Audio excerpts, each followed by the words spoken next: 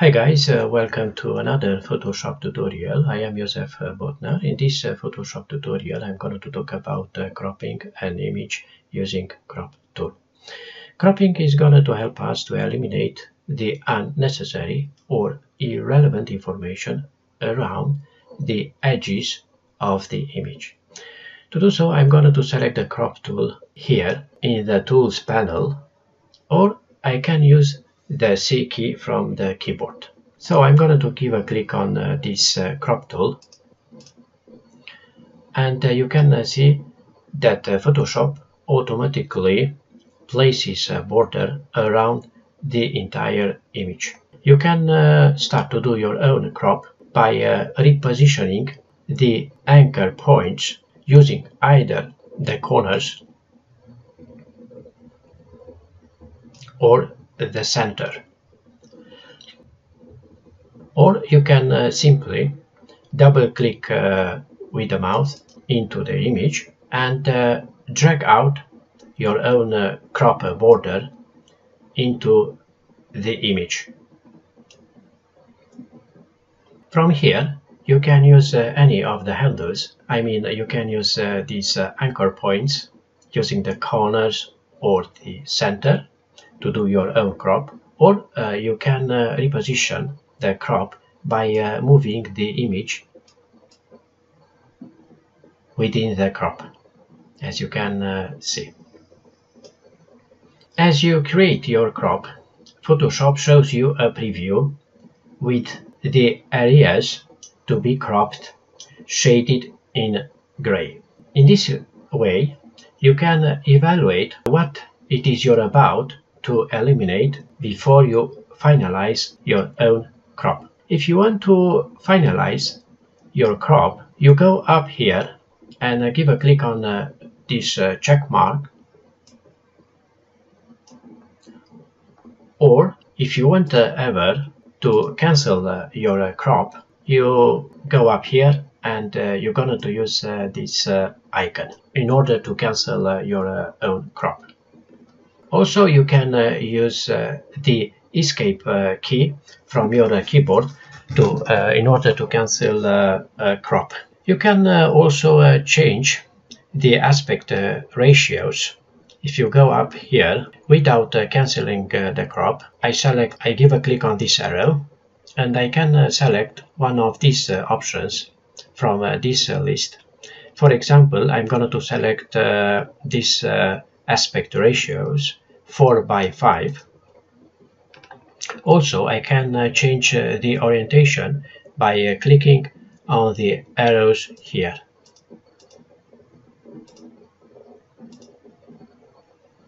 If I want to remove this aspect ratio I can simply click clear. And the aspect ratio was removed was changed as you can uh, see. If I want to see a different uh, overlay, I can uh, use this icon and select one of these options.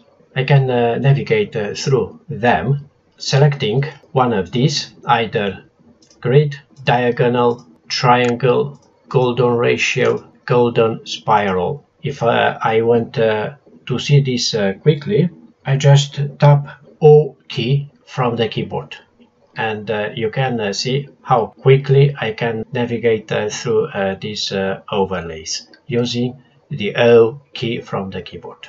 Also, I have the option to either delete the cropped pixels or keep them in the remaining cropped file. If I choose to delete the cropped pixels, I go up here and you should have this option delete cropped pixels checked as I have uh, in, at this uh, moment. And uh, if you go down here in the layers panel, you can see that um, I get a, a, crop preview and then a background layer, which is the color of my background color in my toolbar. If I click on the check mark in order to crop this image, those uh, pixel those uh, pixels will be gone.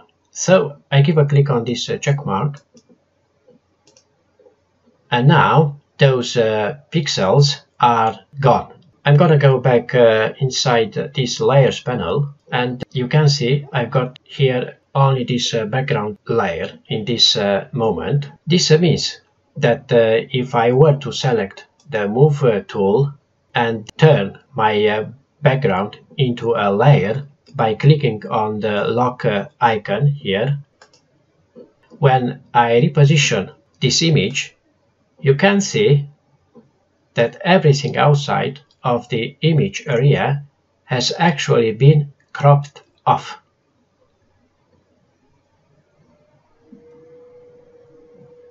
Now let's uh, revert the file for a moment. I choose file and then revert. And then I select the crop tool again. This time when I start dragging the crop into the image, I'm going to hold down the Alt key and you can see that uh, this scales this crop from both sides. I'm going to release the cursor and also the Alt uh, key. I'm going to do uh, to resize uh, this uh, crop.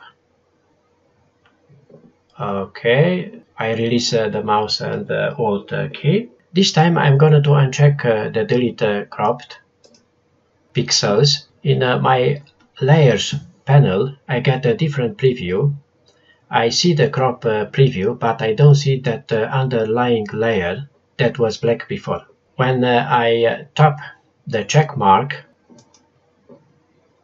Photoshop uh, will uh, transform that background into a layer and uh, actually keeps track of all of the pixels that uh, was uh, outside of my crop. So if I select the move handle and reposition the image within canvas we can see that uh, all of that information is still there